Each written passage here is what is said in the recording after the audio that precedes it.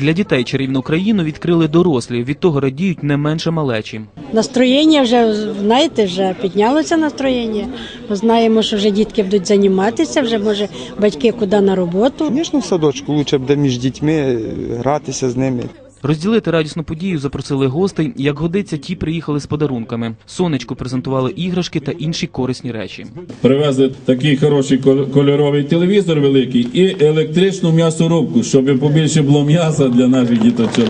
Дитсадок відкрили у приміщенні школи. Вона розрахована на 240 учнів, а нині тут навчається лише 26. Тому приміщення під дитсадок довго шукати не довелося. За два роки у Хмельницькому районі відкрили ще дитсадок у Калинівці і створили повноцінні групи у Стувчинцях і Мар'янівцях. Цього року ми ще обов'язково відкриємо чотири таких дошкільних навчальних заклади. Ну, це буде половина, охоплено більше як половина дітей в Хмельницькому районі. Є садочок, відроджується, значить, в селі життя. Є садочок, значить буде повна школа. Всіх вітаєм та сердечно обіцяєм. Добре будемо ми вчитись, веселитись та трудитись. Всередині усе з голочки, спальна та ігрова кімнати, музично-спортивна зала, санвузол – усе, що потрібно для дітей і вихователів.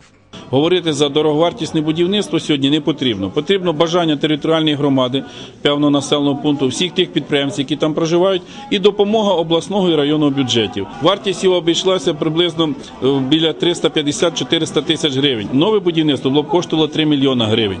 Цьому році вже відкрито більше 30 дитячих садочків і цілий ряд е, груп.